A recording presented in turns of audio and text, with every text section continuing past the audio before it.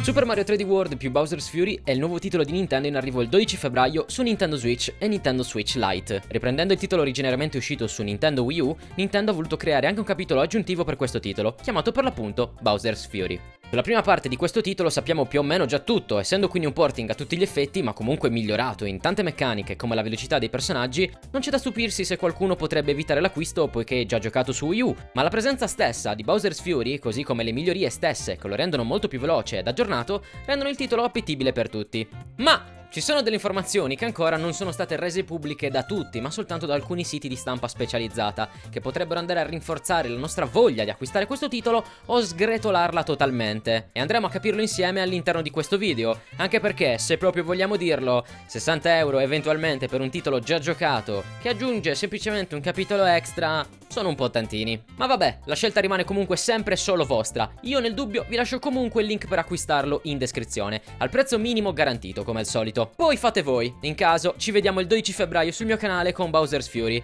oppure più avanti con Super Mario 3D World, oppure ancora, se non volete aspettare, anche stasera alle 17 sul mio Twitch, dato che lo sto giocando tutto quanto al 100%. Sapete no, mi sto preparando per l'uscita perché volevo essere assolutamente pronto per portarvi un gameplay quanto migliore possibile.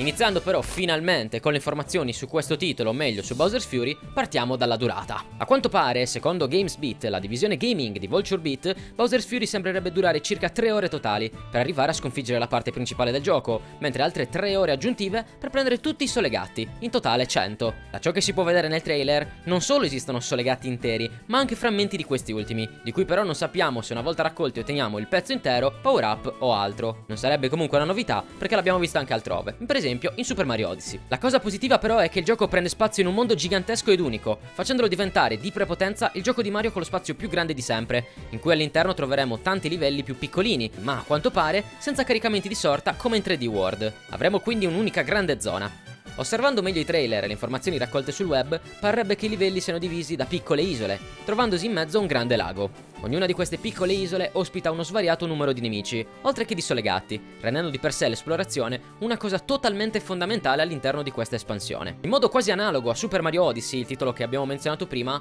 parrebbe che questa porzione di gioco, Bowser's Fury, equivalga quasi a una sorta di regno, anche se però non in senso letterale. Immaginati quindi un grande mondo dove tu all'interno, esattamente come in Super Mario Odyssey, ti muovi liberamente, fai delle mini quest, fai dei mini giochi, ottieni solegati, ottieni power up, tutto per continuare e quindi procedere per un obiettivo finale. Infatti, come abbiamo visto nel trailer, sappiamo che alcuni di questi possono essere ottenuti attraverso il completamento di mini quest, come completare una corsa ad ostacoli e via dicendo. La cosa più interessante però è che non tutti i solegati sono disponibili da subito. Avete presente quel Bowser mostrato nel trailer? Quel Bowser gigantesco? Ecco, quel Bowser si sveglia in momenti totalmente casuali, anticipato da una pioggia sempre più violenta e poi a un certo punto con la sua host trasforma questo gioco nella variante Eevee Metal di Super Mario.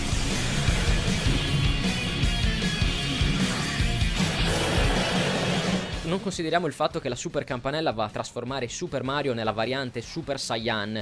Quindi puoi prendere un qualsiasi trailer, un qualsiasi pezzo della boss fight, metterci una sigla giapponese di Dragon Ball e hai fatto.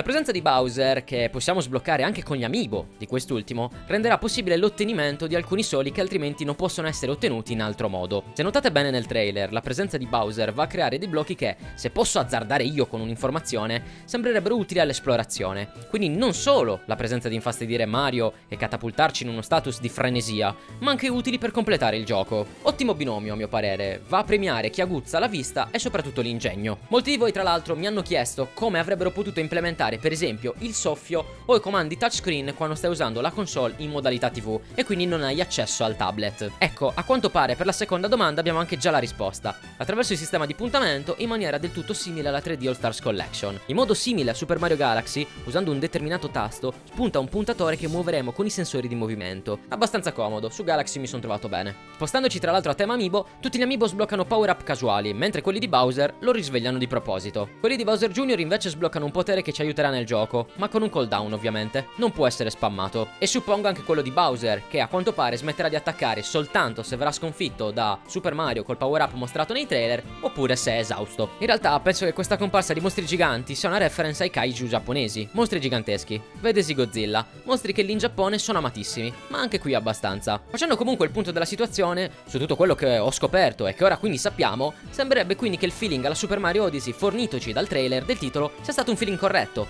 sensazioni che tra l'altro abbiamo avuto anche dall'animazione mostrata col primo sollegato ottenuto nel trailer. La presenza tra l'altro di Bowser Jr. che ci aiuterà all'interno di questa avventura è molto simile a Cappy, essendo tra l'altro controllabile da un secondo giocatore ma risulta una versione migliorata, più divertente e soprattutto interattiva. In single player si può addirittura disabilitare, andando quindi a fornire un'esperienza d'uso totalmente migliorata e più matura rispetto a quella di Odyssey. Uniamo tra l'altro la velocità aumentata, sicuramente una grafica più pulita, ed ecco qui il pacchetto completo di Super Mario 3D World più Bowser's Fury. A mio parere, che ero già interessato, un ottimo pacchetto.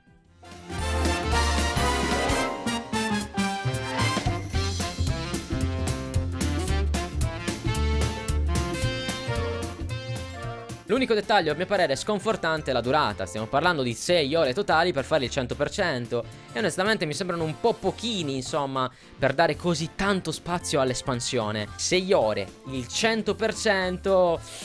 Molte persone neanche lo faranno, facciamo 3 ore giusto per sconfiggere questo capitolo extra. Tre orette secondo me sono un po' poche, dai. Ma hey, queste sono informazioni dal web e quindi quando lo giocherò io, quando farò un video magari recensione, analisi e soprattutto un video talk tipo questo che sto facendo oggi, vi potrò dare la mia opinione. Ma piuttosto, passiamo a voi. Voi lo comprerete? L'avete già preordinato attraverso il link che vi lascio in descrizione? Fatemelo sapere con un commento. Qual è la cosa che vi piace di più di questo titolo, delle informazioni che vi ho dato oggi? A me personalmente, probabilmente il fatto che sia open world. Questa cosa di essere un mondo totalmente vasto, totalmente aperto, in cui tu puoi esplorare, fare quello che ti pare è una cosa che mi piace da morire, soprattutto per questo genere di giochi che vanno un po' a unire i 2D, come per esempio New Super Mario Bros. U Deluxe che abbiamo giocato su Switch, e anche Super Mario Odyssey, che comunque rimane abbastanza aperto. Certo, ci sono caricamenti, eccetera, ma il feeling è un po' alla open, puoi fare quello che vuoi. Insomma, tanto da dire, tanto da divertirci. Staremo un po' a vedere quando il gioco uscirà. Tutte queste informazioni di oggi le ho raccolte dal web. Ho fatto una doverosa selezione e soprattutto sono stato attento a prendere soltanto fonti affidabili. Ma non essendo ancora uscito il gioco, mi prendo il diritto eventualmente di dirvi di non prendere al 100% per sicure queste informazioni. Alcune le ho confermate semplicemente guardando i trailers, mentre altre, insomma, Parliamo di informazioni che non possono essere confermate finché il gioco non esce. Fidiamoci comunque di questo recensore che comunque sembrerebbe una persona affidabile. Detto questo, grazie della visione, link utili in descrizione, vi aspetto in live stasera alle 17 e noi ci vediamo in un prossimo video. Alla prossima!